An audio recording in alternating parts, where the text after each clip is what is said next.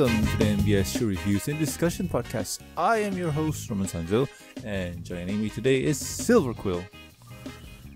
Love is in the air, quite literally. Ah, awesomeness. And also joining me today is Jakob. Hello students, and welcome to the 8th grade history class on 19th century. Today we're gonna talk about imperialism! And how absolutely nothing bad ever came out of it. Ah, I guess. Hmm. I, I am out of it for history, but still, but still. Uh, in today's episode review, we are going to review the My Little Pony Friendship is Magic issue number 100. I'll repeat that again. Issue number 100. Wow.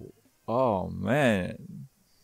I am just blown away by this. Ah, Silver. You remember us doing this about what nine years ago or so? Yep, it's been a long journey. Oh man. Uh, what, It's what, been a long road getting from there to here. what do I even see, man? Like, it's is it nine years? Is it Well, it came out I don't in think- 2012. really now? But- So it's about eight plus years. No, they say nine. So yeah, nine years then. Yeah, it's Well, we didn't we didn't start reviewing everything all at the same time. Uh, I think I I think it's been like six to seven years our our time. Oh, probably, but still, man. Wow. Hold on, let me check. Uh, Um. when was the first issue? All right. Uh, Well, you, you do that. Uh, me and Silver just going to reminisce and stuff. Like, did you have you imagined this is going to reach 100 issues? No, but I'm pleased it did. Oh man, I I am just happy with this. I am just happy with this. Okay, I got it. Uh, it was Alright. recorded on June 13th, 2014. So, So two years after. Ah, all right. Man, I, I'm just pleased as uh, I'm just peachy word stuff to say that I'm happy. uh, yeah, anyway, I, I envy you guys. it's all good, man. You, uh, people come and go, and what matters is is that we've done it, and it's there for prosperity. And 100 episodes, and to be honest with you guys, Tara was supposed to join us, and we could have done this whole 100 bit and stuff like, yeah, this is gonna be awesome and whatnot, but you But got us instead. You- Protera couldn't join us. yeah. Uh, he he said that he had other plans with cooler kids. We aren't cool enough for him? Nah, man. And That's uh, okay. sorry. I've still got my blue Pokeballs. Yep, yep. he shan't escape. Oh, yeah, I forgot. The great balls are blue. They're great That's right. blue balls. Exactly. Oh, no. ah, I can't say much. Ouch. Oh. I mean, that's why I uh, at Everfree I, I had on a blue cloak and I was like, I am from the Order of Blue Balls. Have you seen Torterra one three two four? Oh, that's what that thing was. it's not a recording on Twitter. oh my god. yeah, yeah, yeah, yeah, yeah. Ah. I wish we're doing videos so people can see my face. But anywho, oh boys, in this issue, Rainbow Dash, Captain Celaeno, and their friends visit the Bird Kingdom, where Celaeno's old friendship are tested and a new mysterious enemy lurks in the shadow. So, um, first impressions are in order. Silver, what do you think? Well, a part of me is, is disappointed. This is the hundredth issue, but it ties into the other countries' elements of harmony uh, storyline. So only one of our main cast makes an appearance for most of it. And I'm just, can I, feel like a hundredth issue should feature all of our cast and celebration. That is true. Yeah, like uh, it. it hmm, how do I put this? Um, it should s- resemble how episode one hundred was. Yeah, I mean, well, episode 100 was uh, was slice of life and focused on the background ponies. 200 was Sparkle Seven. Mm, yes. Yeah, yeah, true, true. But I mean, this is is part of the overall approach. I'm certainly not uh, dismissing that, you know, the continuing storyline. But I kind of wish we could have gotten everybody in on this, not just Rainbow Dash and a little bit by Twilight. Yeah, that is true. That is true. But anywho, um, Jakob, what about you? Well, this is, this is the issue that explains all that happens in the start of season 10 and gives an explanation what the fuck is the deal with all these trees of harmony that exist now to devalue the uniqueness of Equestria in the fantasy world. Sadly for the story, there's too much, too many things going on against it, but one notable that especially going on against it, as, as Silver mentioned, this is the 100th issue of the Friendship is Magic comics. And as I said earlier, it, this comic came out in 2012 uh, as a part of the continuation of Canterlot Wedding, so this is basically a huge milestone. This issue is supposed to be special, almost on the annual level special story, accompanied by a lot of fanfare. That's what would be required, but unfortunately, because Hasbro's corporate decision to axe G5 and G4 series as fast as possible to try and focus on the new G5 uh, cash cow while trying to mask it as if it's some sort of fault of global pandemic, has robbed us of the set fanfare, and now we're forced to read this watered down and rushed story that was nothing but disappointing on the world building stage. So I don't think things would have improved even if Jeremy Whitley wouldn't wasn't forced to cut things down. But while we're in the subject of disappointment, let's talk about the cover for the issue 100. Here we have a beautiful landmark of mainstakes drawn by Andy Price to show how far we've come in the long nine-year run. And then Spike is just standing there face palming because of a crack he made in the memorial just before he finished it. It's almost as it's almost as if uh, he's going we've such a, we've had such a successful run and then this shit happens just before the end. It's almost as if the artist is trying to take a shot at how bad the story is on this the last story of the series is. Hmm. All right. Um. In honesty, um, most pony content ends with a whimper or with a poof, and this is no different, I guess. No, not, not always. Last time it did, it ended in an explosion. Yeah, that's true too. um. Uh, is that all? Mm, yeah. All right. And as for me, I hmm, how do I put how how how do I put this? This was a very interesting comic. I like how the story went, but it felt lacking. It felt rather meh, and by that I mean it's it's part of the how do I put this? It, it's part of the 100 issue kind of thing, like celebration, bing bang, whatever, bam, and it's supposed to represent that the comic was has gone this long and we're awesome. But what we got was this continuation to the storyline where, hey guys, look, it's Rainbow Dash and her story arc with the whole thing. Uh, isn't that awesome and whatnot? Like, yeah, I, uh, I don't know. Uh, I like the story, but I got no idea. I mean, putting the 100 issue aside, this is just part of the storyline. But when you take a look, see that this is part of the 100 issue, it has a lot of problems. Uh, but th- those are my f- initial thoughts. So anyway, um, if you guys at home have not read this comic yet, pause here and go do so. Welcome back. I uh, hope you enjoyed the comic, and that ending there, right? So anyway, we start off the comic with Lyra and Bonbon telling Rainbow Dash to come out and see the oohs and ahs of the um ta- the town of Orni Ornithia. That's how you say it. Mm-hmm. Ornithia. Ornithia, you got it. Ornithia. All right. And at first, I was pondering, wait, why is Lyra and Bonbon there? Like they're just regulars, and it clicked. They're spies. Okay, carry on. So- and possibly also to make a little parallel later down the line. Yeah. And they and they're like, Rainbow, stop nibbling that ear and come out of the closet. Oh, n- why?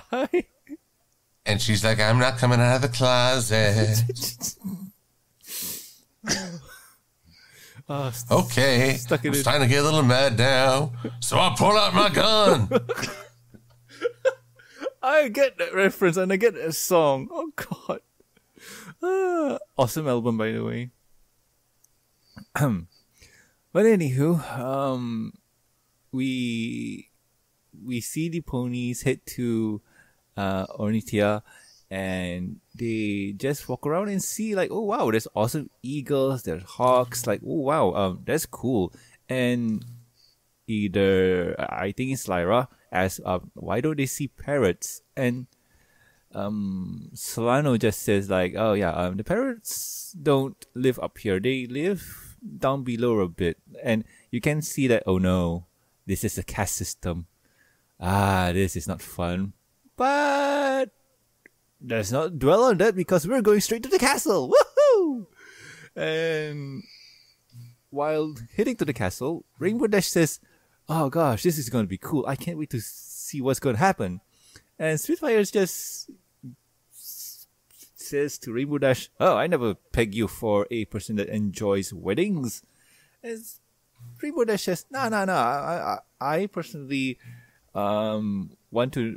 I'm just here because um, my friends done crazy stuff and crazy stuff happens with a tree. So I'm just here waiting for crazy stuff to happen with a tree. It's just how the comic works. I mean, it's just how this works.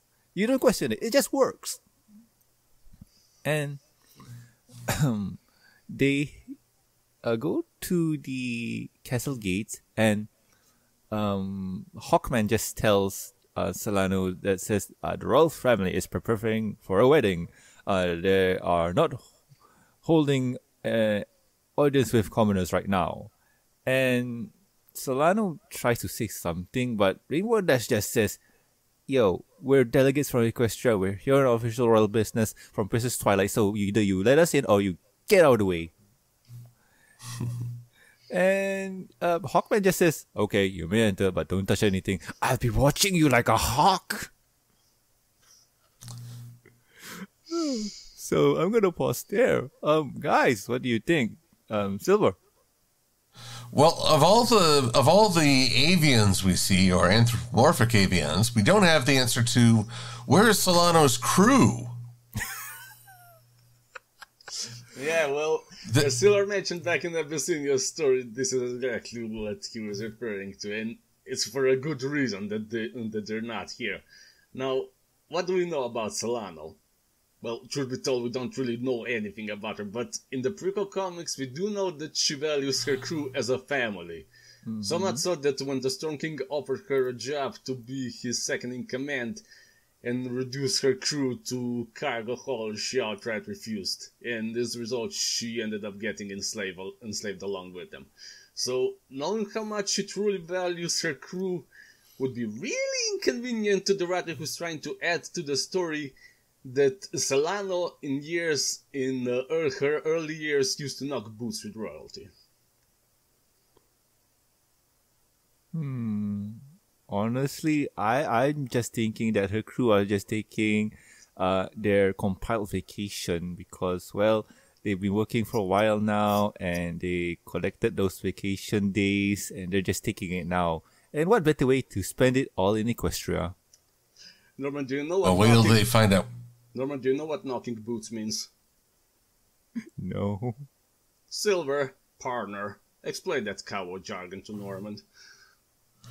Uh, well, it basically means What? Yes. They're doing it. yeah, They're getting jiggy with it. No, no, no, no, no, no. yeah, they're getting with it. Where? In the past, that's not, that's not gonna be spoken of much. Wait, what? past I'm so confused. What happened? I confused. We're we're here to tell you there's shipping abounds. Yay! What? shipping, shipping, shipping, shipping, shipping, We shipping. need Terra for this. Why are we terrible? No, I mean we need Terra. To Terra. Our, Oh, well- our Pokemon, because he's the shipper. Get it? Uh, because he, Well, you for, I too will partake of the shipping. yeah, but you don't work for a shipping company. Oh well, f- fair point. but you know, um, so um, backstory, her crew is getting jiggy with it. No, you misunderstood. I said Celaeno in her early years used to knock boots with royalty. Oh, um, honestly, I thought she was working at the castle. Well, she was. Until that other thing happened. What? Later really? Where? Later down the line, you'll see. Boy, so anyway, oh, Silver, um, eh? Any, eh, Eh? eh, anything to add? Like, um, I'm, mm. Well, I mean, you, you, I mean, we've already covered the with the side of, and I know Norman that's driving you, but personally, I think it's the bomb. in, in all honesty, I know why you're pressing buttons, but this is just fascinating for me. Well, truth be told, Celaeno never fascinated me much as a character. So it, while it's good to get to know what her history, I almost feel like she's a blank slate to inscribe a story upon. Yeah, that's true. Which can be a double-edged sword because uh, in the movie, uh, she was voiced by Jada Pinkett Smith. Was it? No, no, no. She was uh, Gamora. Okay, well, I'll take your word for it. Yeah, yeah. Uh, Gamora voices her. Yes, I forgot her name.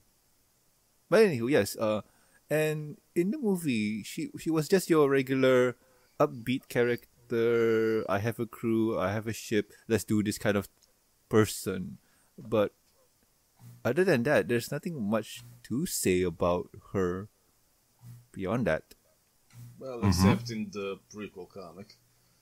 Well, technically, she has a ship, she has a crew, and she's a pirate. That's about it. I mean, there's no changes from the prequel to the movie. No, but it, it is a bit of a change in this matter, considering her crew completely disappears.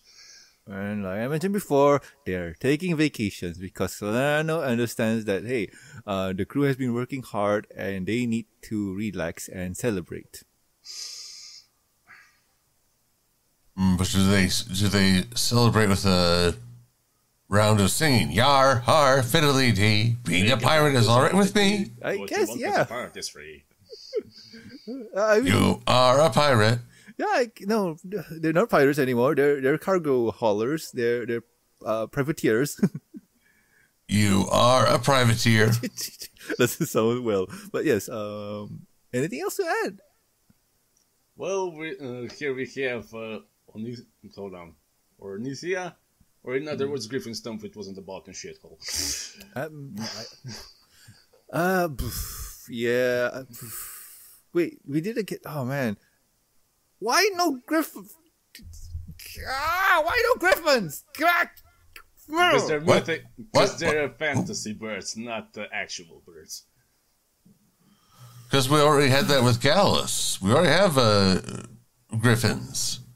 I, I, oh man, I'm pissed off right now. The more I think about it, the ah.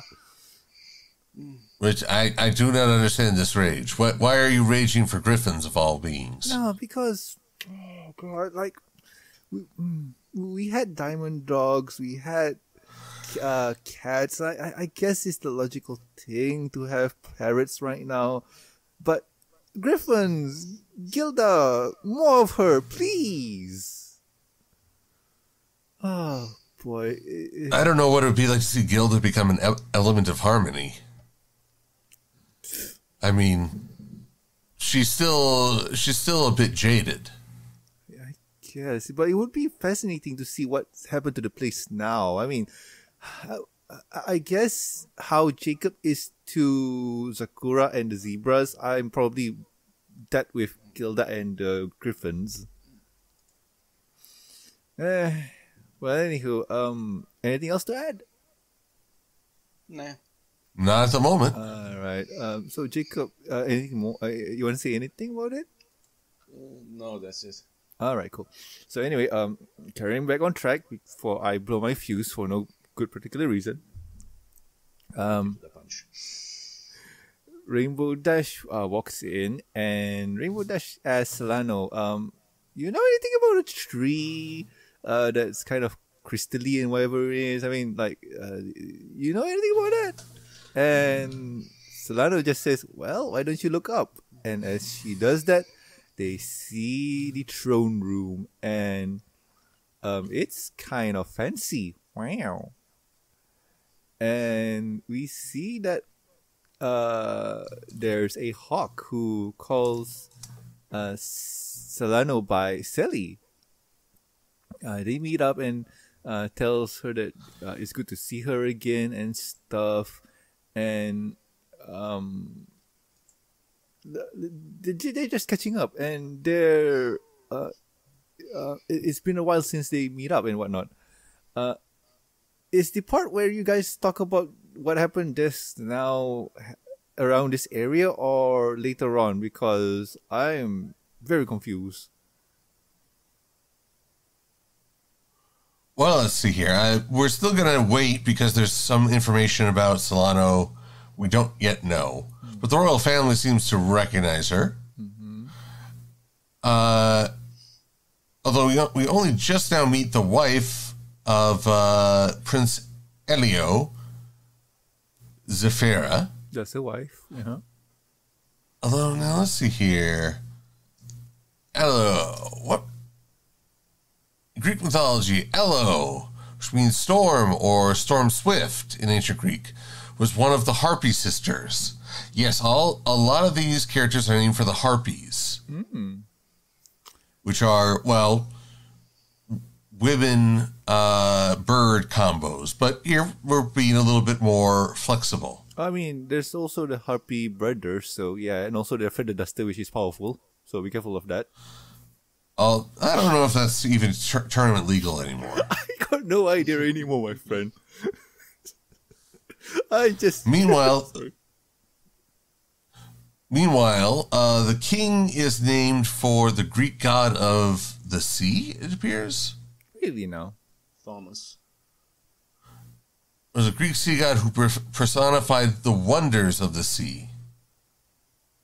And the queen? Let's see here. Ozamim, Ozamene. Uh, as a meme. M E E. M E E. Meme. oh boy. Mm. Okay, give me a second. Uh, let me, let me. Electra, female figure in Greek mythology,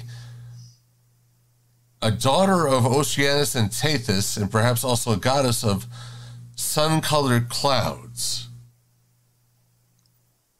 So there's a great deal of mythology going on around here. All right, um, that's fascinating with their names. But besides uh, Elio, everybody else doesn't seem right. It doesn't match the team. I'm not sure I understand. because you said King Ta- Thomas Thomas was it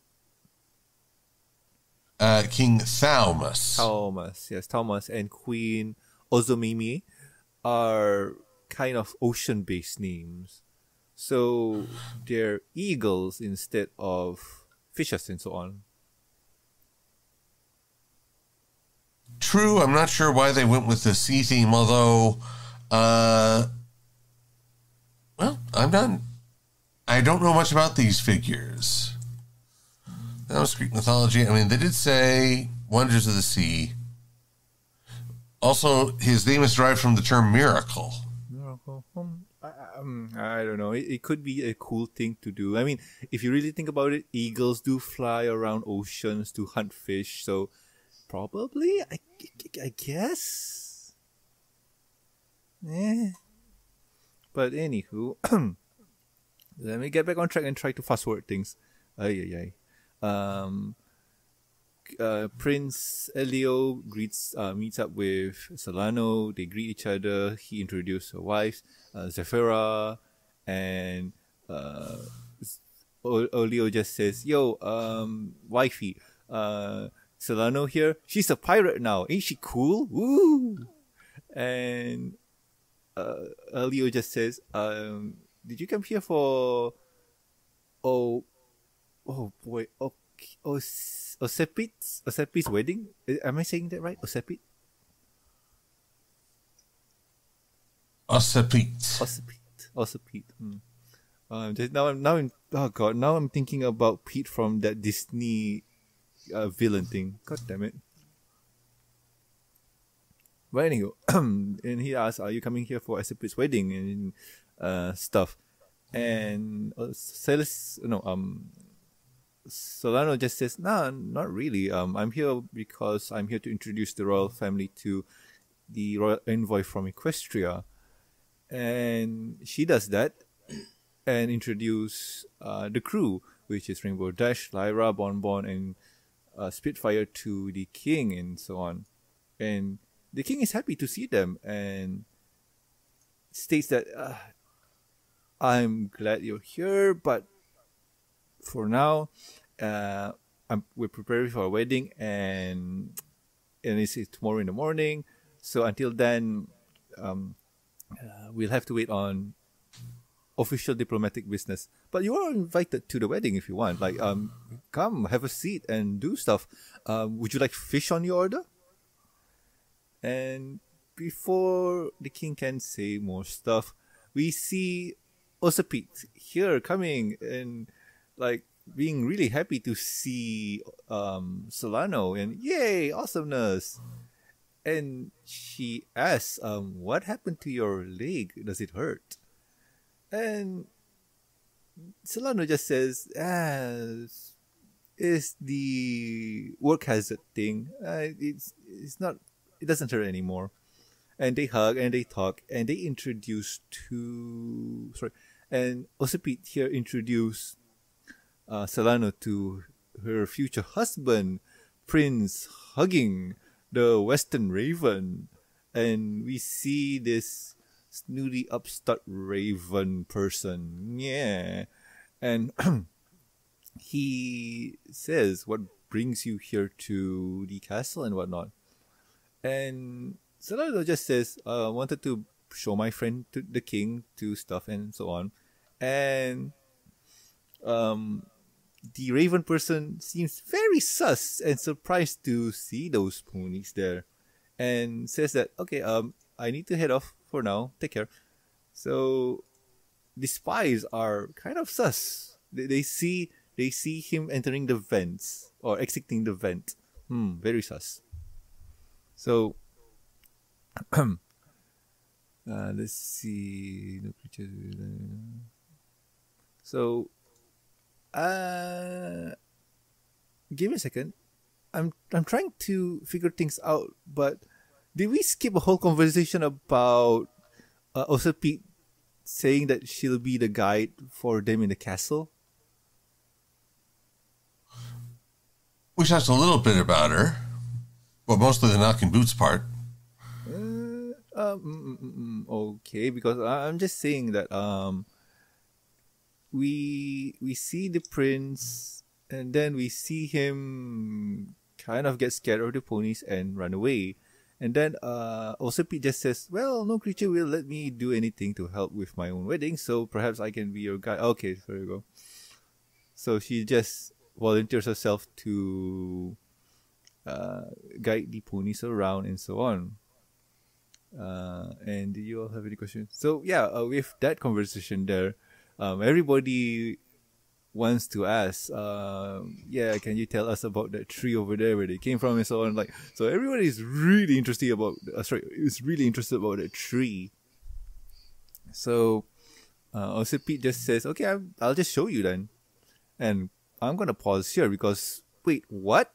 Explain to me what happened. I don't know what. Okay, boots. Where? Where? Where? Where? Where? Wait for not yet. Wait. Not. Okay. Alrighty then. So, uh, anybody? Uh, sorry, Jakob. You wanna um, say anything, or like, want me to carry on before parts no, stuff? carry on. Alrighty then. Silva, you good? I'm good for the moment. Although, well, I will say one thing. Uh, Ossipete's uh, design. I don't know why they chose to go with gray colors, but it really doesn't seem to blend well with pastel ponies and even Celaeno's color scheme. I'm not. I feel like there could have been a much better choice to make her appear more lively. Yeah, in all, in all honesty, I think uh, her colors complement really well with her dress. But uh, just asking, what type of bird is she? Can you tell? I like actually I like to know that as well be- because the way she looks, she looks like a parrot, not an eagle. Or a hawk? Let's see here. Yeah. I'm not great at uh, marking new species. It's all okay, but yeah. Um, I, I'm just curious. Probably she's a type of eagle or hawk, which is mostly gray. Not raven, but yeah. Uh, probably that. So I, I'm just guessing. But yes, um, having her be all gray, uh, I won't say pure dark. Uh, it's on the darker spectrum, but she's lighter on the blacks and whatnot. Unlike her mother, which is uh, a panda. Yeah. Yes, sorry, I was not, I'm not seeing. The character's name? Well, oh, I see the character's name. I just don't see a species assigned to it.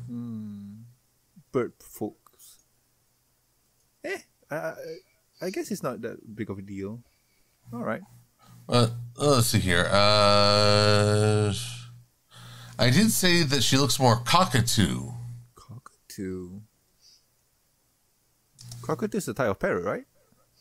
Yeah. Let's see here. Let me just search for gray bird. Hmm. All right. See what I can turn it turn up. All right. While you do that, I'll continue on for a bit. All right, Silva? Sounds good. All right. So, also Pete brings the ponies to the um, history museum of the trees, and uh, Celaeno just asks, uh, "Is it okay?" Um, she was never allowed to be in the temple before, and Celaeno uh, also Pete just says. Uh, you guys are here as foreign dignitary now. You can go anywhere you please. If anyone tries to stop you, I'll kill them personally and they head to the temple.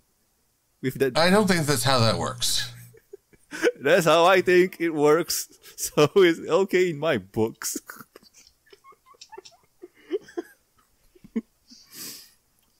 Sorry, I'm just having Not too a worry. much fun.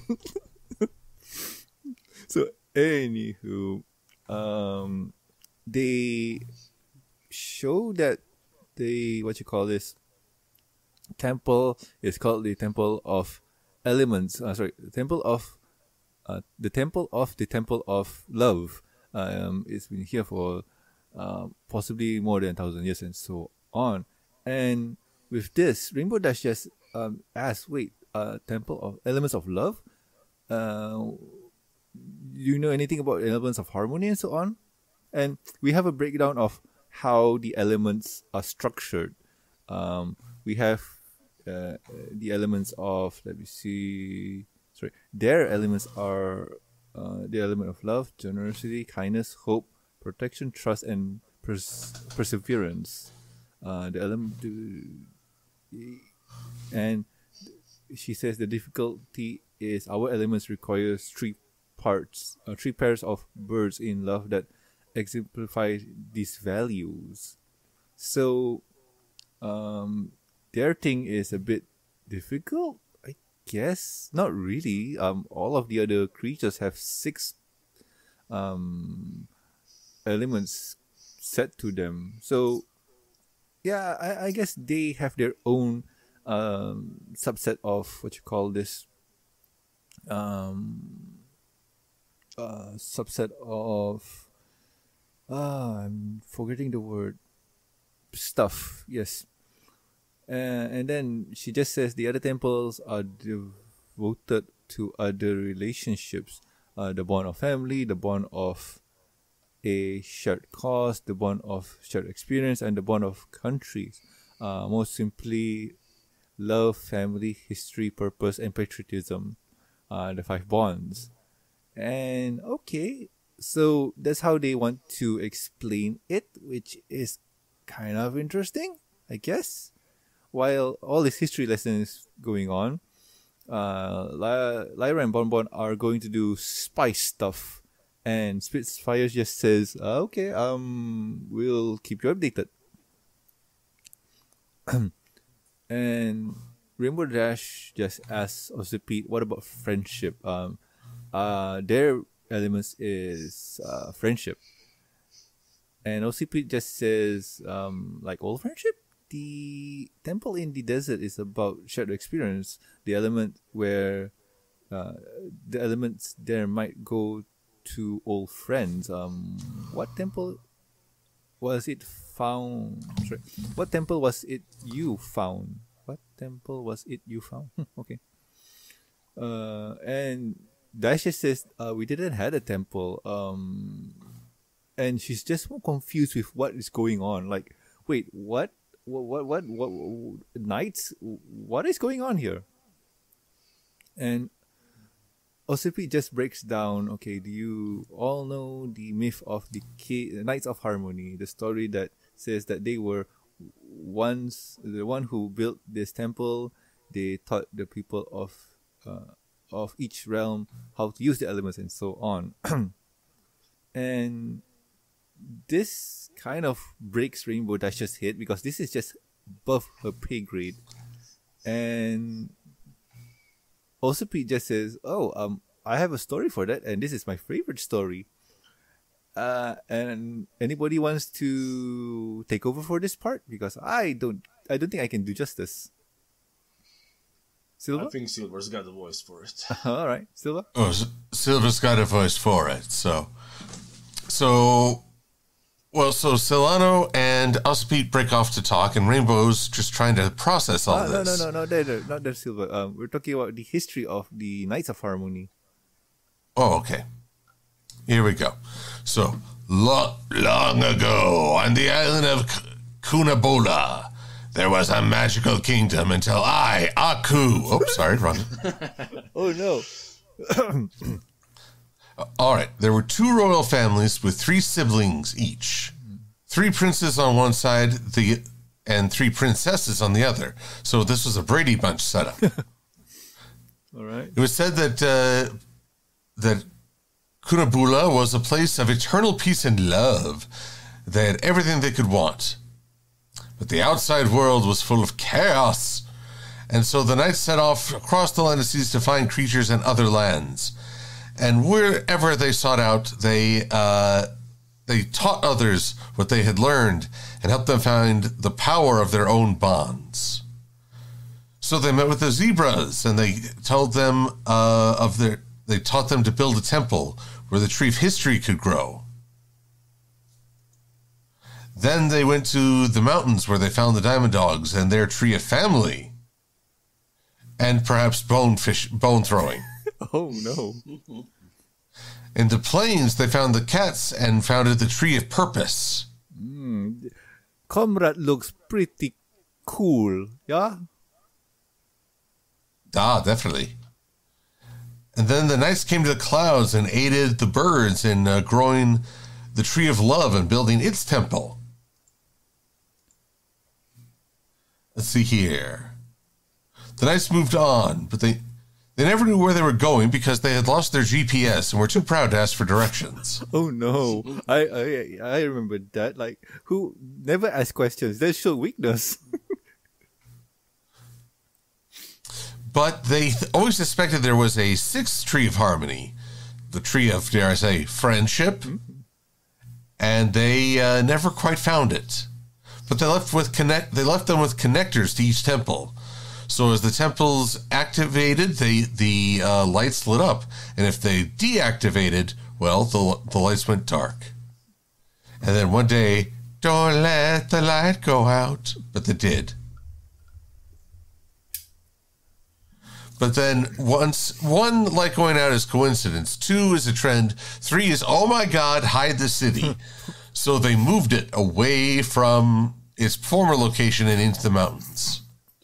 Why did you? Where and of course, Go ahead. and apparently they got to gentrifying pretty bad or gerrymandering because all the parrots are at a lower lower deck than the eagles. Oh, but So yeah, that that's the most blatant gerrymandering I've seen in quite some time. before that, like, why did you have to phrase it that way? It now it reminds me of that SpongeBob storyline where Patrick gave a stupid idea to why don't we just push the town from here to there? Here, there, and everywhere. Oh boy, that's a good movie by the way. I'll uh, I'll take your word for it. Uh, you do not know um, everything, everywhere, all at once. That Michelle Yeoh movie. Oh yeah, well yes, I've seen that, but I haven't seen SpongeBob. Oh no, no, I'm just uh, you just reminded me of that movie title. But anywho, But anywho, the lights have been coming back as the ponies have succeeded in their missions, which is why they're now force the avians are now forcing a wedding ah, and why is that? by the way? because uh, for the for these trees to work, these trees of love, each element wielder must be a married couple. Now, I appreciate that the, they do not specify, oh, it must be marriage between a so and so and a da da da. It's open to interpretation what the wedding is, but it must be a marriage. Marriage. marriage is what brings us together. So give me a sec. I'm just trying to ponder here, and I see what one, two, three, four, five lights only, and the only one that lit up is the element of love. Uh, The- actually, yeah, the element- Can I t- can I t- take over this one? Okay. Okay, we need to make a few corrections on that because I was apparently in error initially about the lights representing which trees are active. Because apparently the one light that is still active, that's the the tree of the Knights of Harmony. That's the one that's always been active, not the bird ones. Because uh, here it's established that the tree isn't active because you need three married couples in order to activate it. Makes sense. Yeah. Okay. Yeah, it's been established. So yeah, uh, spoiler, but not really. We'll never visit the homeland of the Knights of Harmony, nor do we ever see its tree. Yeah, Okay, but so wait, there's five trees in total. So you have the birds, the cat, dog, zebras, and knights, and the ponies are the sixth surprise one. Yeah, Yes. They complete the set. Oh, they're they're the random surprise one if you get in the box. All right, all right. I, I guess so. Uh, according to you, Jakob, the fifth one that's um, eternally lit is the Knights version. Then, yes. all right. Okay. Cool. Cool. Cool. Cool. Cool. Cool. Silver, you were saying? Well, let's see here. Now I'm just looking up, trying to look up the numerical identity that is six. Uh, it's not on So, the but that's going to take me. That's going to take me a minute. All right, no problem. Oh, okay. but no, okay. Um, I I guess I'll take it back. so, anywho, um, we see that af- after that long brief explanation, uh, too long didn't read.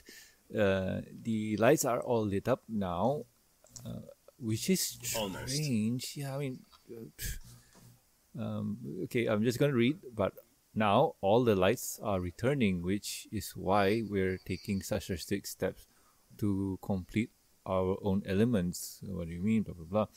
Uh, why the wedding? Of course, my father and mother have a strong love bond. My brother and Sephora are inseparable. It's down to me. I just need to uh, being in love, so I am getting married. Uh, so this is the part where Osiris was hmm, uh, Celaeno wants to have a tete-a-tete with uh. And they decided to go someplace else.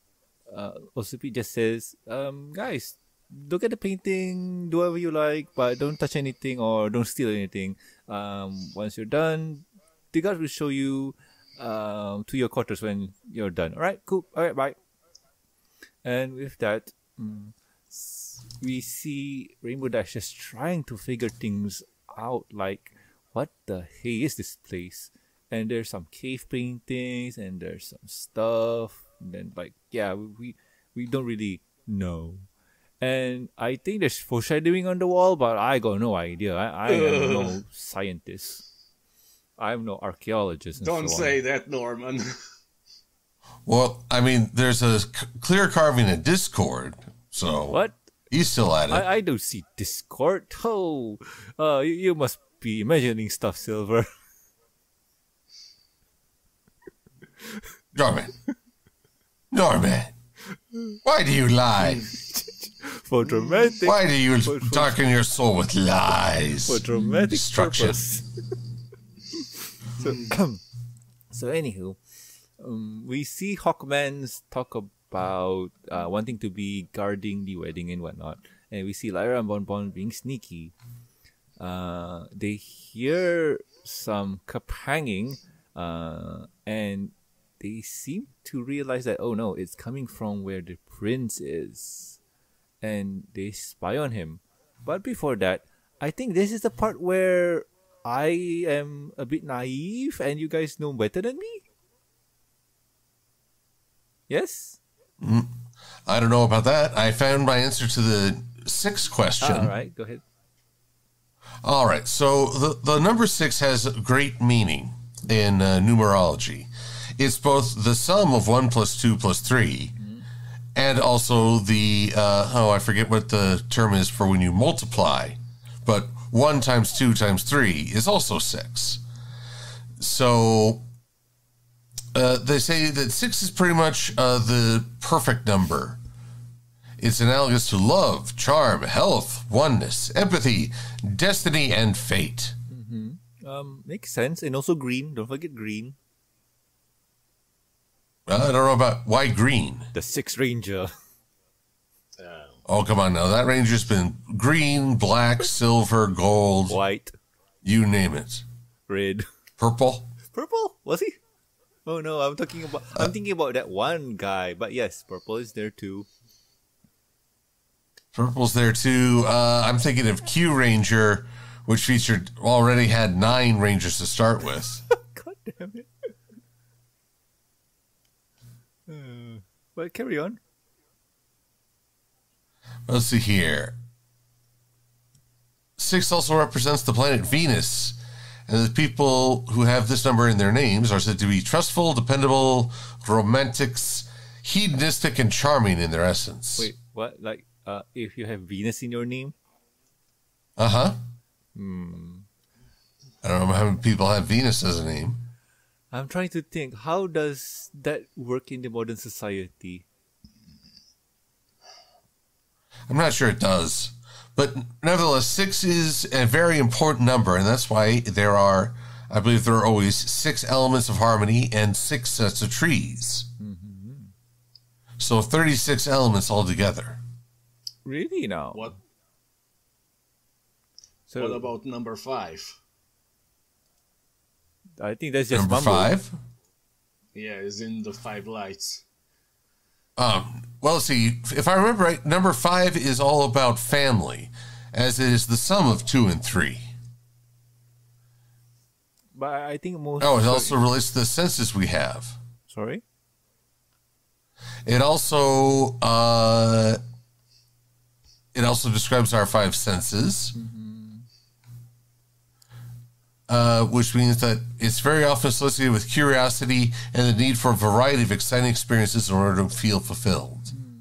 I I think uh, Jakob is just asking about okay the lights. There are only five lights. What happened to the six? Is it some kind of light in lighthouse or something? Well, I assumed it was the Knights, which has always been lit, and they're just waiting to get the uh, love tree back online. The love tree. Because on the pedestal, uh, I'm double checking it, and there's only one, two, three, four, five. And if um, spoilers What? are hit, if I'm not mistaken, uh, the knight just says that uh, the temple for the sixth one was never established, and they uh, write it off. If I'm not mistaken. Wait, wait, hold on. Did, did you miss the part where we, when we established that the the five lights were for uh, one was for the knights and the other ones were for all the other cities? Uh, yeah, I guess like I mentioned before, you have zebra, you have the cats, the dogs, uh, the birds, and the well Knights. knights. So there's only five. Yeah. So Yeah. what happened to And the sixth? sixth one was ne- yeah, the sixth one was never established. Yeah, yeah, Was never found. It's the, it's the pony one. yeah, because they were, which was kind of Yeah. strange. I, I don't Hmm, think. Don't, don't, don't, don't, don't go there yet. Oh, okay. but anywho, Silver. What about this? The tat-tat-tat with uh, Ossipete. Which, which tete-a-tetes? I mean, there, there are several. The one at the Oh, balcony. Celaeno. Oh, okay. So they're at the balcony. Well, basically, Celaeno doesn't want her to get married. And uh, Ossipete is like, well, who are you to say that? You left. And they're basically arguing about who they used to be versus who they are now. And and uh, Captain Celaeno notices that she doesn't love this this uh, raven themed suitor. So this is the flaw in the whole marriage to be an element thing. You, they're now trying to force a wedding without love, and that you'll learn to love him. which is kind of uh, not agreeable, but uh, there there are some marriages based on that. Yep, usually arranged.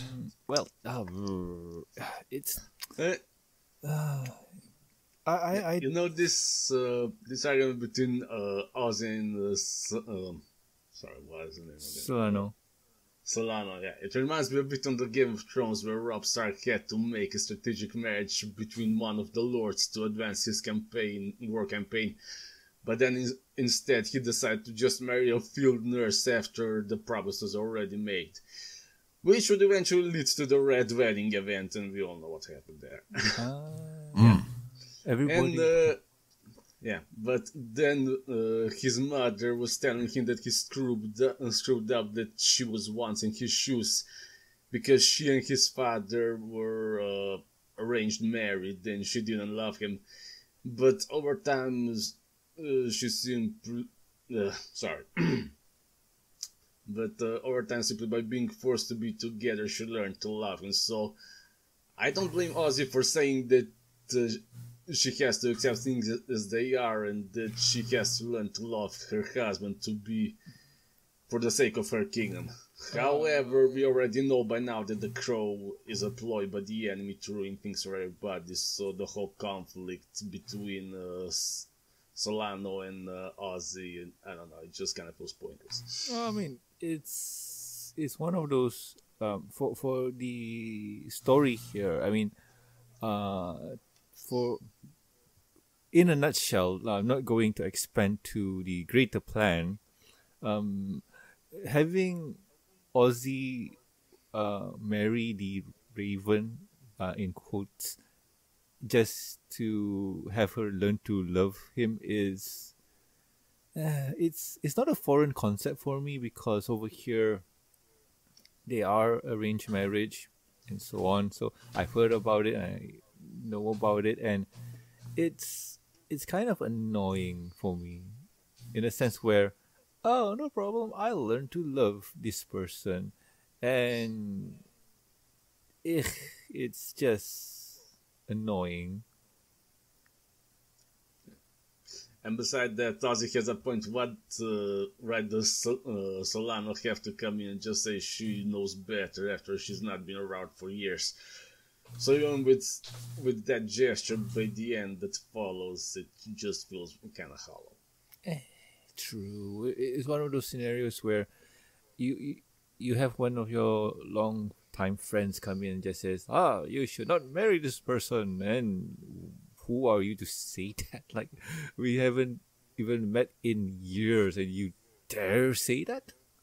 How dare you? Oh boy. So we're not to that part yet, right? Not yet. Sure. Alrighty then. Anywho, moving on. Wow, this is gonna be fun. Uh, we we see the crow panicking, uh, saying that oh no, my my my my, my feathers, my, my plumage, they're uh, they're falling off, and so on. And the voice says, "Don't forget, you gave uh, who gave you that beautiful uh, plumage, and so on." And the crow says, "Yeah, I'm grateful, um, and stuff, but." now that the ponies and the parrot are here, um, I'm, I'm kind of scared. I'm backing down. And suddenly, uh, the figure just blasts the door and reveals the ponies are sneaking. And yeah, um, I, I guess this is the part where we're at. Yes, no?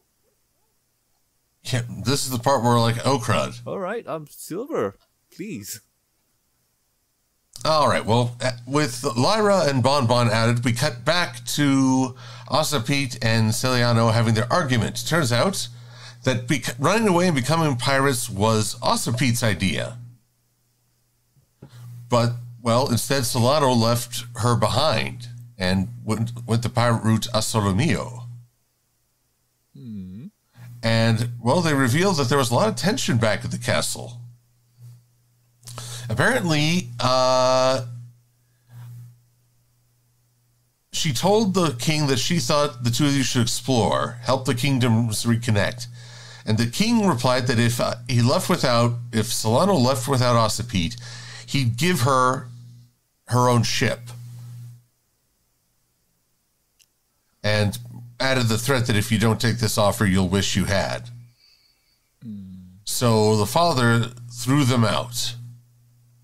At which point, at, they uh, both storm off in a huff, or at least part ways with much huffing. And all of a sudden, uh, someone zaps Celaeno in the noggin. Just as Rainbow and Spitfire are ambushed in the catacombs, also KO'd. Oh no. And this is where suddenly Celaeno wakes up back on her ship, sons of the crew, and the ship is going down. And everybody's unconscious. Oh, well, that's not good. That's not good at all. Not good at all. So Celaeno starts uh, putting on parachutes on the uh, unconscious Lyra and Bon Bon. No wings there. And then apparently she can fly. I didn't know this was possible. I mean, sure, they're birds, but they're anthropomorphic birds. And so she can at very least glide as the ship crashes and uh, everyone lands in the sand, and Osel- and Celaeno is now out of a job. Yes, too true. Uh, but it, This is the second time her ship got destroyed now. yeah, well, I mean, these ponies, every time they show up, her, her ship goes down. so true. Um, but for for Except for one. oh, boy. uh, sorry, For, I'm just not for one, which one? Which one. Uh, the prequel movie. Well, no, it's just that uh, that you said except for we, the. I said that ponies show up and her ship gets blown up, True, that happened in J- the movie. Yes. and Jakob was saying except for one. I don't know the one. Yeah. Was it in the prequel? The exception. The exception, ship. the ship. Which right? But which one? but that eventually got bl- blown up. Uh, no, uh, I said uh, you said uh, this is another. Sorry, I messed it up. Basically, I said this is the second ship that uh, ship that got blown up, and then Silver said whenever ponies are around, her ship all gets gets blown up, and then I said except for one. And which one was that? Uh, Silver, do the thing. Well, I didn't blow up her ship. Silver, do the I mean, thing. I, I what? No, not that one. Uh, oh, you talking about Battleship? Um, no. that one. Oh, okay, that ship. Oh, we're talking about that ship. Well, that ship is currently uh, sinking as well because the wedding is going to take place. Okay. Um, I, I guess the Phoenix Force is there somehow. The Phoenix Force. Man, we're getting a lot of bird terminology mixed up here. I'm just seeing the wall that Celaeno oh, crashed the in. emblem. Oh, yeah. Well, anywho, uh, basically, Lyra and Bon Bon are outie for the rest of the story. They're just enjoying some sun in the desert. And it's going to be up to Spitfire and Rainbow Dash to fly Celaeno back to the kingdom, where they basically send her crashing through a window in the most dramatic, I object. Yeah, and th- that that face when she entered in, just awesome. But then oh. we learned that her costume is quite functional, as it's an emergency reserve pirate hat cummerbund. Uh. oh, yeah. Celaeno has a hammer space sash. Mm-hmm. Or in it's like TARDIS pockets. yep, or in D and D we call it a bag of holding. uh, this shall be called the stash of holding. Mm, check out that stash. Mm. Stash actually, but still. Ah, yes, yes, yes. so Celaeno breaks into the wedding to object, and all right, doesn't seem like a wedding in that angle. Well, it's certainly not uh, the red wedding, thank goodness. True that, true that. So, oh boys, um, it, it seems that, um, if you don't mind, Silva, Uh it huh. seems that um, with her grand entrance, she challenged the prince to a duel, and the caveat is they need to play card game on motorcycles. but On motorcycles. Yes. But the prince says, nah, I'm gonna let these two Hawkmans beat you up. I can't believe they look like Hawkman. Come on. Does the Hawk I have a, ba- a battle cry? Does anyone know? I don't know. I don't think so. Uh, if I die, I'll get reincarnated. I, I guess, yeah. Here's my alien tech, I guess. Um, so the guards are ready to smack her, but Rainbow Dash comes in and dealt with the guards. So it's just now uh, Celaeno and the prince. And the prince has a dagger and he throws it at Celaeno and she stumbles for a bit and touches the throne and the throne is all lit up. What? Wait, what? Yep, because she's the element of perseverance. And because of uh, the throne, it's heavily implied, but not stated, that they both love each other. like more than friends. Oh, I mean, they're they're they're they're like Lyra and Bonbon. They're special. Yeah, No, no, let me- The problem is that Lyra and Bonbon were uh, like since I don't know which episode in the first season together, which is why they deserve uh, what do you call it? Hold on, uh, just give me. Their happy ending. Oh, wait. oh, oh, their honeymoon over on the beach just now. Here, however, is the problem that Celaeno's apparently been away like years on end, so to suddenly come back and to hold water, it's just meh. Um, you know, um, this is in the realm of relationships, so I go, don't want to say much, but uh, I'm just going to just read stuff here because um, uh, o- Os- Ocypete here just says, "Oh, Celaeno um, uh, points to her and." Celaeno just says, uh, "It's okay, I'm not hurt." But no, take a look, see, and shows her holding the throne, and she's glowing, and Ocypete just says, uh, "You're less element, Celaeno. That means, uh, that must mean. Why did you tell me?" And Celaeno's like, "I, I got you, I got no idea. Um, that question goes both ways. You you must know an answer, but." Before No, no, You you must love me too. Jesus Christ, Norman, don't screech. Norman, I think you're more a bird than the characters. Norman want a cracker? Oh wait, that's me. Oh boy. Uh, okay. Anyway, I'm try- let's try and finish this. So and Oh, let's try and finish this with your with your revelation and screeching. boys, I am a sucker for love by surprise, but still, Well, here's the thing that I don't get. All you have to do is touch the throne, and it'll glow if you're the right one. That was never So- established. uh, mm, kind Well- of. It was really like I mean, it's being established here and now. um in previous comics um with the zebras uh one of the characters stood on a pedestal and it glowed. Um if another person went onto it and it wasn't their element it didn't. So it was established there and it's been repeated for a few times uh throughout the series.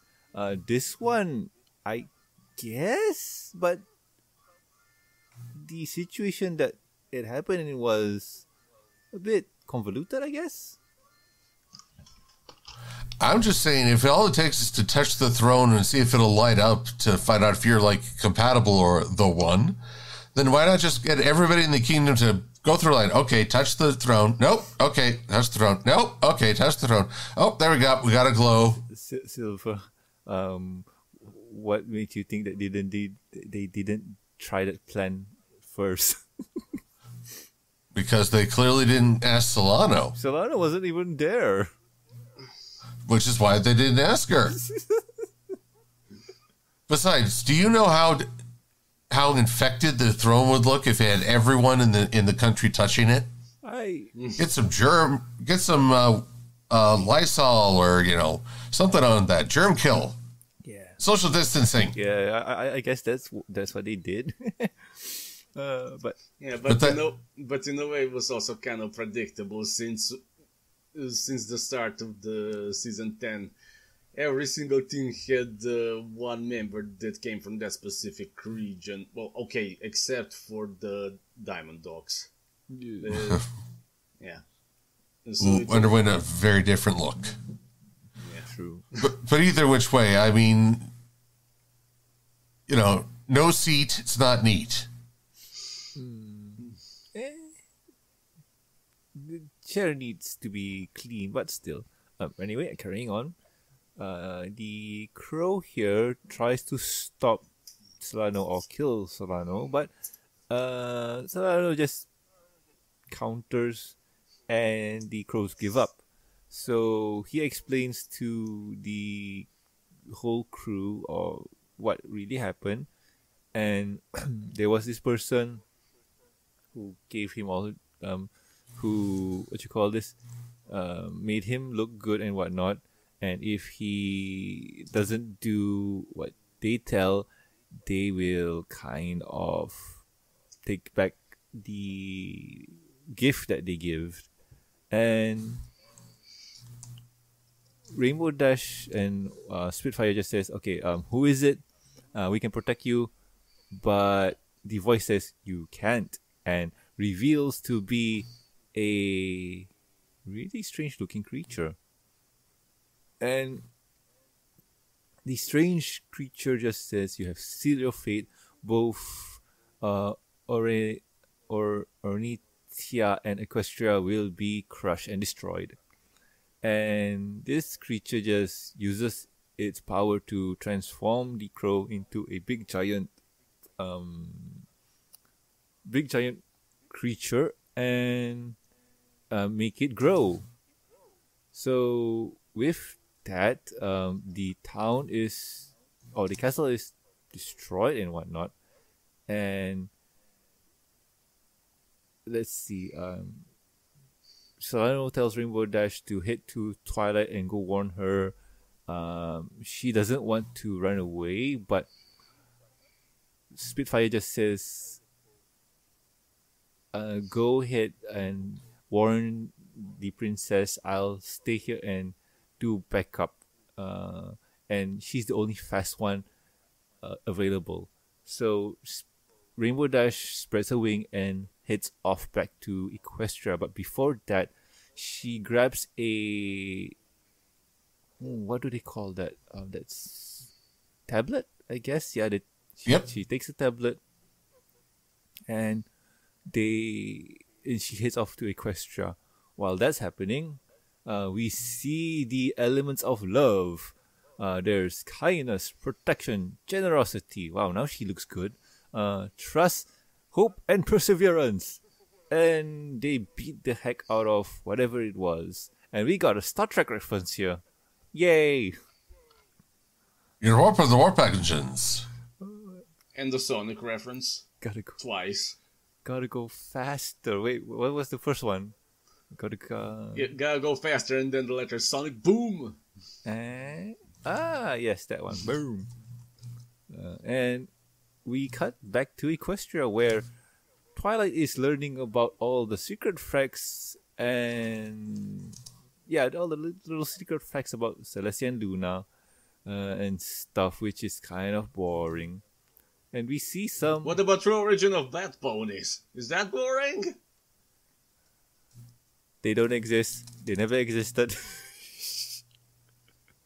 Uh, but anyway, um, we see some background ponies which are pretty cool. We see Sunburst. We see Purple Pony at the background there.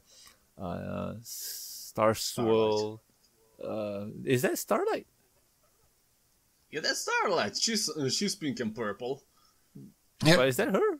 Oh yeah, it is her. Yeah, of Yep. course it is. Even though she looks kind of like uh, Twilight, you know, all them ponies look the same. It's dragons. yeah, yeah. Uh, we see Stygian and there's also Jerk Pony. Yes, Jerk Pony. Jerk po- Star Swirl, the bearded jerk. Jerk Pony. Yeah, but why Takeli Stygian there? He's no, he's got no place there. No, he's a popular author. He sells books. He is very popular. Yeah, but what does, um, place does he have in discovering the uh, ancient secret history? He's just Nah, there to nah, help. nah. He's he's there for with the original crew. Like he he knows a bit, and if Star Swirl starts to diverge and blah blah blah blah, he's there to keep him on track. Stygian was always the um, level-headed one. Was he? He was. He was. But anywho, getting back on track, um,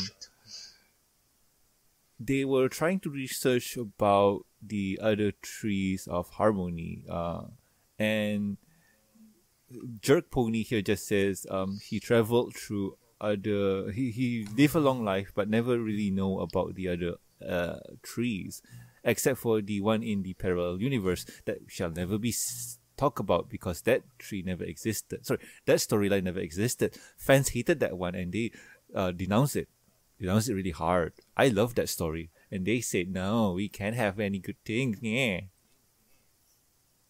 Hmm, I sense repression. So anyway, uh, there's a crash, and Rainbow Dash comes in and tells and warns Twilight about the impending doom. And comic is ended. Ah, wait, what? Yep, we're setting up for the two-part super finale. Uh, wait, this is not the. Oh God. Anyway, we have this cute comic by Katie Cook. Yay! It's about how Sweetie Belle wants to, um, uh, wants to try and do something amazing like her, but in the end, uh, she just says pass. Um, she'll just wait and see if she's born with natural talent, and comic ends.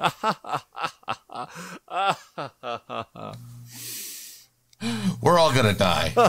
Yes. Uh, and with that coming in, so Silver, what do you think? Mind if I go? Oh, Well, sorry. okay. Yeah, go ahead, Jakob. Yeah. Now, let, uh, I was gonna say this uh, in the middle of the story, but I decided to just wait until we get to the end. Uh, the explanation. Oh boy. Cool. The explanation why the story is as it is.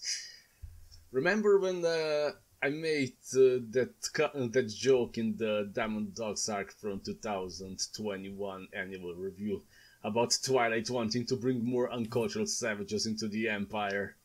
I think so. Yeah. Uh, well, that's because the writer decided to make things in th- and take things in that direction with another nation, aka the Knights of Harmony. Here we finally get an in-universe explanation as to why every arc in season 10 feels like a constant repeat of Friendship is Magic season premiere. A long time ago, apparently these highly cultured and advanced people from an isolated island decided to go out into the world and, quote-unquote, uplift the uncultured creatures of the world. And as we discover by the end, they're the ones who hid the trees and made sure that nobody would try to use them again. Because apparently the uplifted barbarians couldn't be trusted anymore. This is what's putting me off because, well, all the potential of the world building of this fantasy world has been sacrificed for an allegory of white man's burden bad. As for what white, uh, sorry, as for what white man's burden is, Silver, since you're better versed in English literature uh, than the rest of us, uh, how about you explain uh, what that poem is about? Well, let's see. I'm not sure if I if I remember a poem about the quote white man's burden. Uh, let's see here. Oh wait, this was in 1899, 1899 by Rudyard Kipling. Exhorts the United States to assume colonial control of the Filipino people and their country.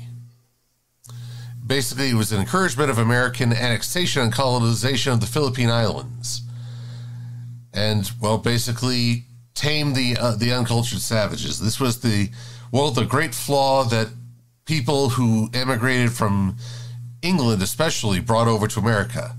We didn't see ourselves as starting over. We thought we were bringing enlightenment to a frontier, and we were wrong.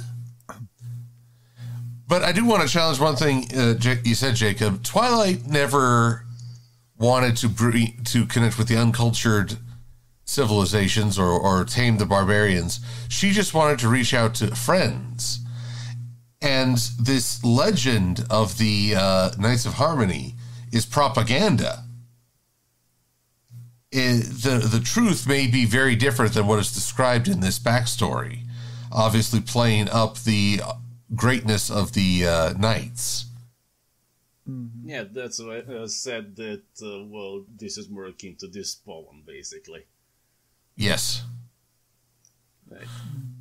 So, but basically, the white man's burden as a text. Oh boy, they even they even quote the line on the side I'm looking at. But basically, it's the justification of white is right, and well, it's part of. I think we can uh, add that to the pot of problems that got us in our current mess. Oh yeah. Yep. Yep. Because I don't don't know if you've noticed, but the U.S. is kind of a mess right now, and has been for a while. True. True. I can't, uh, but it's a mess everywhere. You don't have to agree that readily. Thank I you. mean, it- but it's a mess everywhere, to be honest. I mean, uh, it doesn't matter if you're in America or in uh, Scandinavia or even Malaysia. It, it's just a mess everywhere. We all have our own personal problems. Yeah, so do we here in the Balkans. Although I will say that uh, many people have put forth their own burdens as a counter argument. There's the poor man's burden by D- Dr. Howard S. Taylor, addressing the negative psychosocial effects of imperialism ethos. The real white man's burden in 1902 by Ernest Crosby, addressing the moral, degra- moral degradation of imperialism. The black man's burden which is still going on, I think. Yep. And so it goes. There's a lot of burdens to counter that burden, which has become a burden on everyone. Yeah. But Yeah, and basically this is why I I can't stomach season ten simply because the whole thing is one giant allegory, I and the whole What? the whole poss- all the possibilities that could have been put in if some other writer would have handled the whole world building thing could have been so much more better. But well, this is what it is at this point.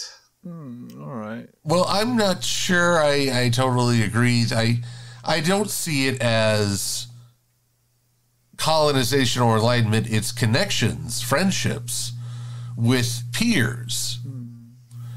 I think that was especially true in the uh, zebra arc, where I was very relieved that it wasn't all huts and uh, and small tribes. It was a modern city with an equally developed civilization culture. Well, yeah, because the knights helped uplift everybody.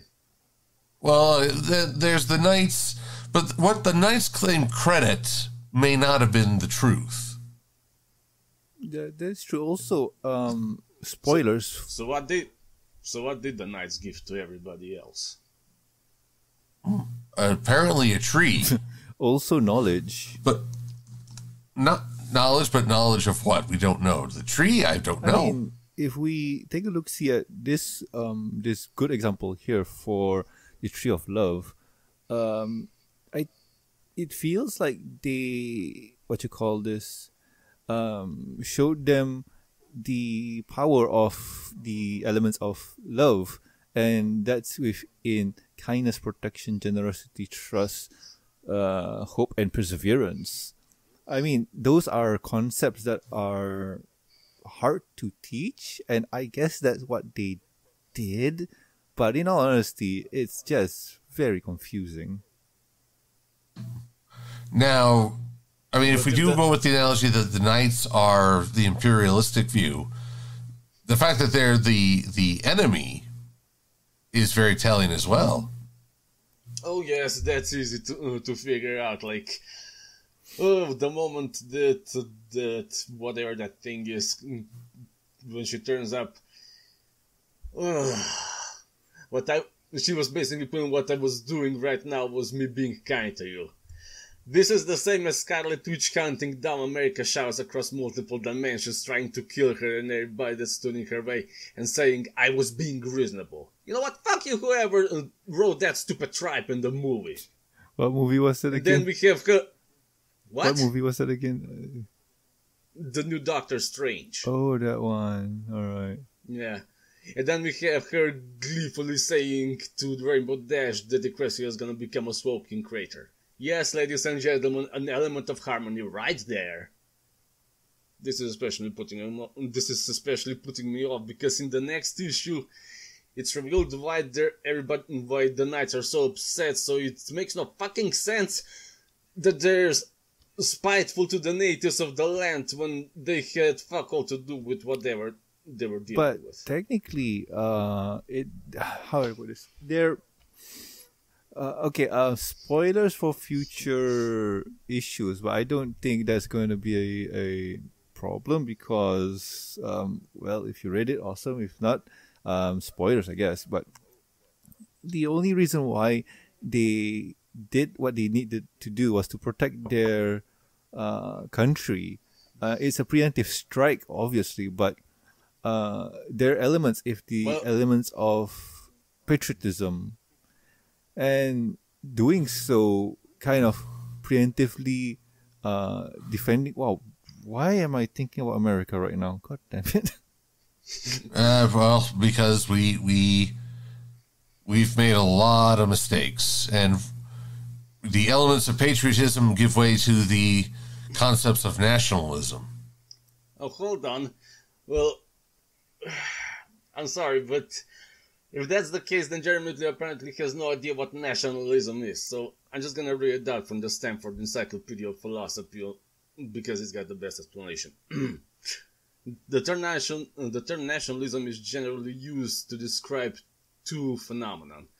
One is the attitude that the members of the nation have when they care about their national identity, and the second one is actions that the members of a nation take when seeking to achieve or sustain self-determination. That's the basic outline of nationalism. All right, but at the same time too, if you're the leaders in power and suddenly uh, other nations attack you with how well, how, I, I think the best analogy I can put this is the game Mass Effect. The Salarians gave the Krogans uh, light speed or just evolve them faster than they should and gave them space travel and gave them weaponry. The Krogans Yeah, who yeah. learn all this start using their f- newfound knowledge to, well, um, attack other planets and so on. So the Salarians had to come up with a plan to kind of stop the Krogans that they kind of uplifted. And with that, they used the genophage. So, with that mindset there, when, and carrying that principle to this one, yes, the Knights of Harmony messed up and they're trying to correct that. And Yeah, but then it wasn't uh, preemptive action because everybody was already attacking them at that point. They were. defending themselves. It was a necessary action. They, they defended Yeah. themselves and to They had every right to do Yeah. that. and to prevent that from happening again, they stopped the elements from appearing, which kind of makes sense if you're in their boat, which I do not agree, but it does make sense in some freaky way. At that point, I wonder why were the elements in the other nations even necessary at that point if they managed to survive just fine without them. Yeah, I, I, Other, other than the other than to neutralize an imminent threat which that was not related to the elements. Like in uh, Zecora's land, it was that weird sand thing. They used the elements to defeat it. The Grootslang. Yeah.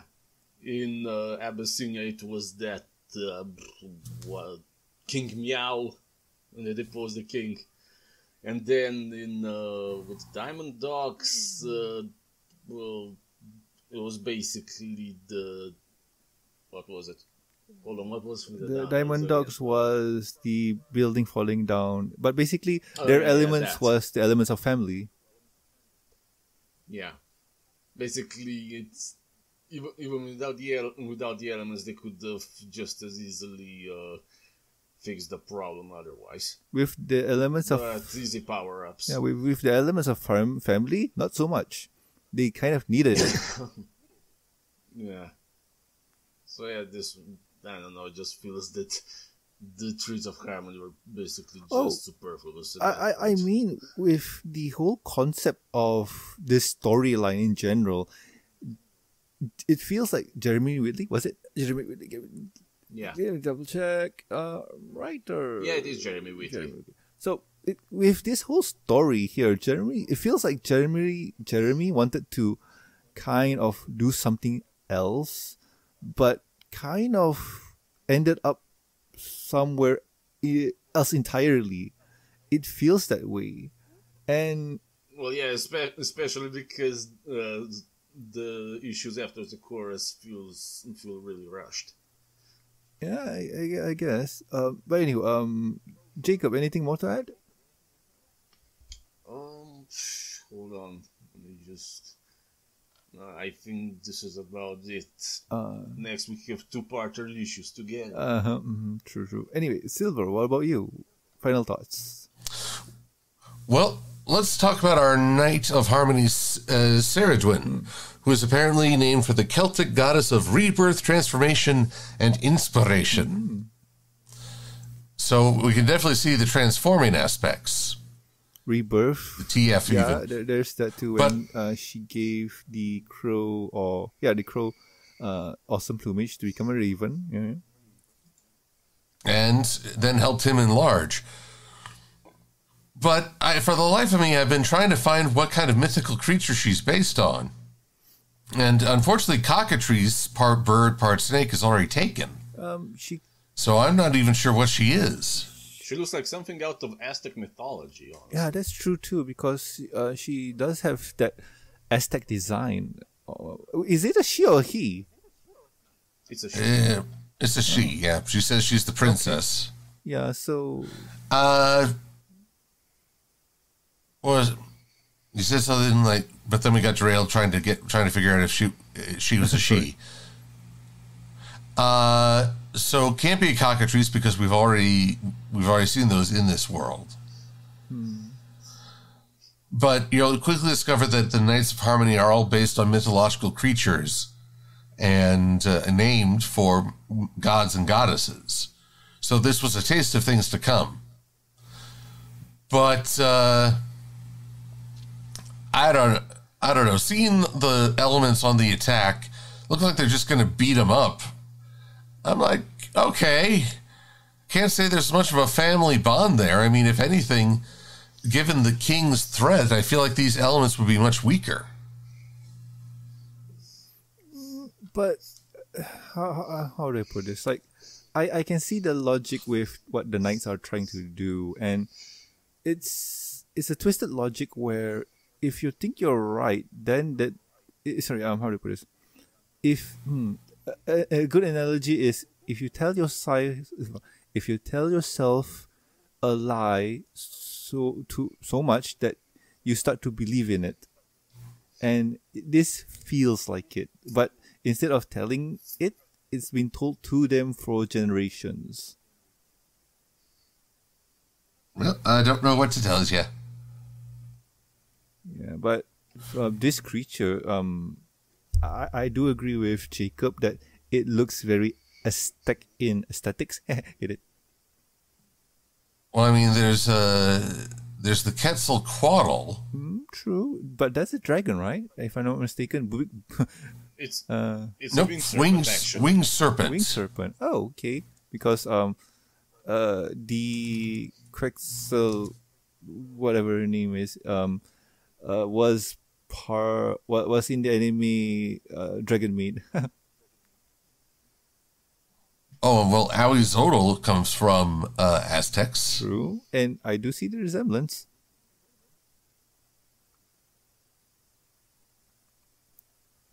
But which is which, I, I can't tell you right now. So it just requires a little bit more seeking. Mm, true, true, true, true. Hold on, But- I think I just realized something. Uh, about the Knights of Harmony. So, as we established, the all the knights are basically royalty.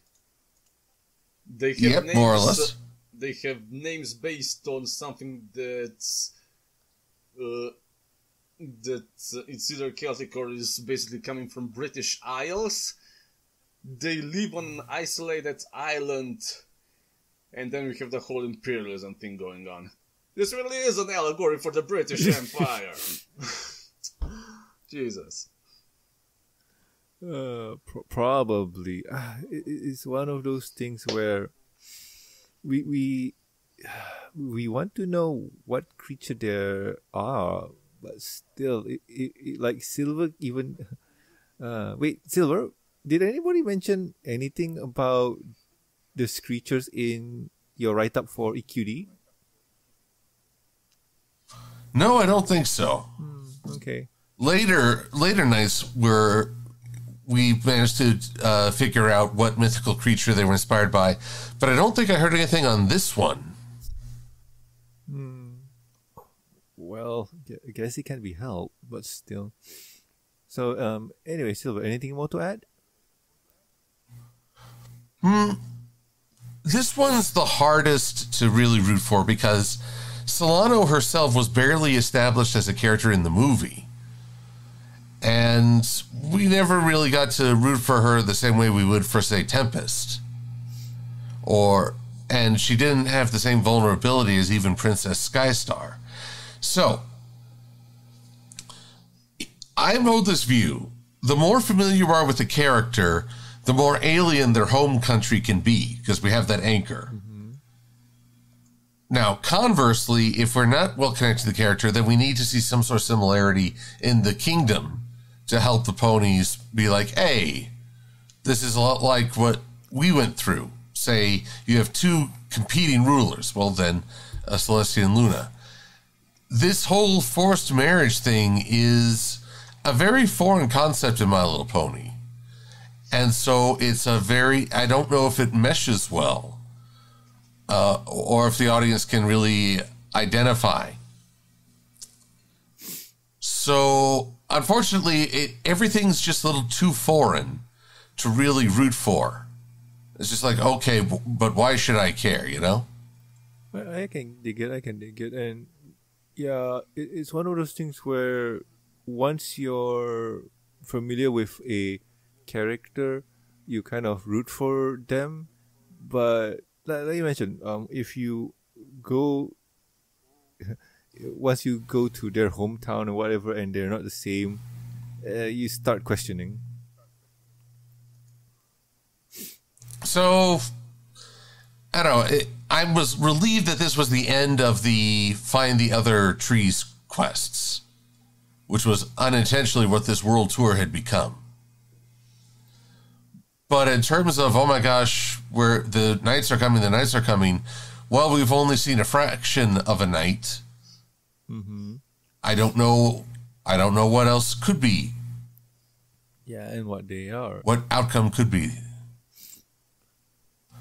So I guess a sort of meh as we move forward. Uh, I, I, I know there's a fight of brewing, but it's kind of meh. Yeah, and I think yeah. her presence there was just to show how threatening they are. Like, uh, they, they want to show that um, one of them can already kick the ass of the elements of harmony. Uh, sorry, the elements of love. So, what if you have six of them in a place together? That would have been chaos which kind of sorry. But but you should remember, love hurts. But what is love? Baby, don't hurt me. Don't hurt me no more. No more. yeah, but still, um, with that, um, I, I guess anything, anything more to add, Silva? Nope. All right. Um, then it's me for the last, and yeah. I'm happy that IDW managed to um, publish 11, um, 100 issues of My Little Pony Friendship is Magic, not including the other side stories and so on. And if you include that, there's more than 100. But still, um, happy to be part of it, uh, reviewing the comics and so on. But as a story, I feel like 100 was kind of a misfire. Like, usually 100 is to celebrate a, a, a monimous, uh, um, a very awesome moment in time. And having the 100 issue be just a footnote in the comic for what was to become the what you call this prequel to the end, it's kind of not giving it a fair shot. C- kind of disrespectful, if you ask me. Uh-huh. Yeah, that's true. I mean, even I, I would have rather have the issue where okay, 100 will be a size of life, and 101 is where you jam pack everything into one book. Uh, but still, yeah. but still, I mean, we, we got what we got, and it was not bad. I I like the characters. I I, I like that quote unquote um love connection between uh, Celaeno and uh. So yay, that's fun to see. But we are where we are right now because we ain't gonna get any more, and a lot of that is going to be mostly head canon from now on, or fan fiction. Pick one. It's it's almost the same. Uh, but yeah, um, can't wait to finish the set. Um, that's going to be next review, I guess.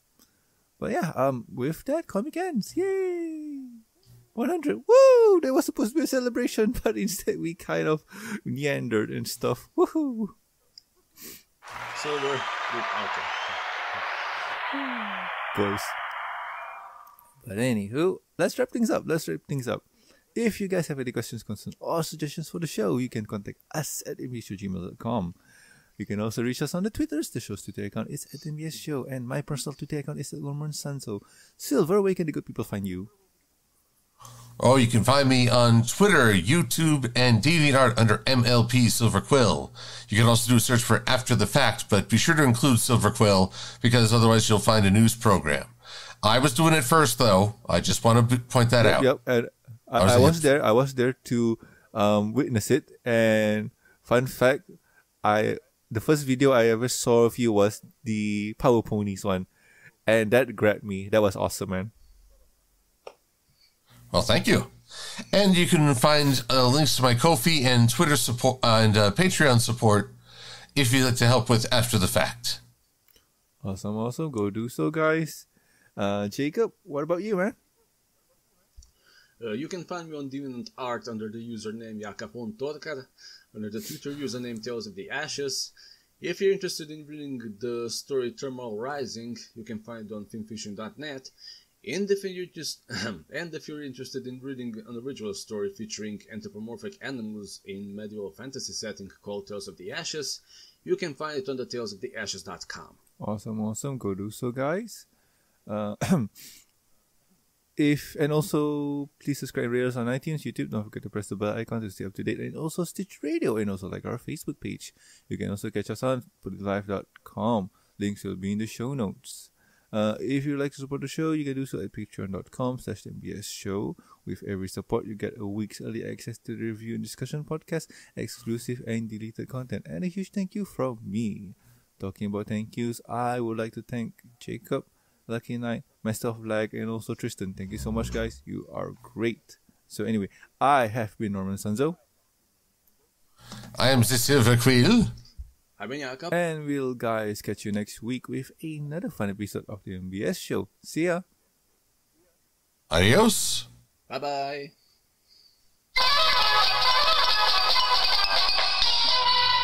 You know, looking at the history of the pony comics, right? There's one creature that's not getting much credit in, well, its history, and that's King Aspin, the deer. Well, that's because he was a lousy king. True that. And also, wait, he's part of. I don't want to even think about it. He's a thousand years old, almost similar to Celestia and Luna, and he doesn't get his own tree? Apparently not. Pretty sure the Cosmo arc is not canon.